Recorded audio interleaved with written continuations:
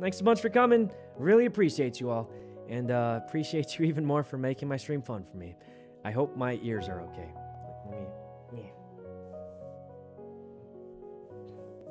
Um, I don't know if you guys can even. I don't know if you guys can even see that. This one looks perfectly fine.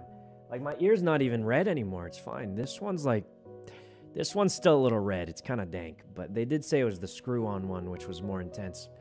Uh, but yeah, the stream will be on my channel in just about an hour, maybe a little more, because we have a lot to set up. So uh, yeah, see you guys in a bit.